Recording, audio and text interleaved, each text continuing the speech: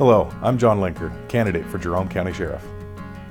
With over 18 years of law enforcement experience, I understand the importance of working with the community in serving them. I pledge to bring a local mindset to the office, increase patrols of county roads, rebuild the search and rescue team, increase deputy training, and promote law enforcement accountability.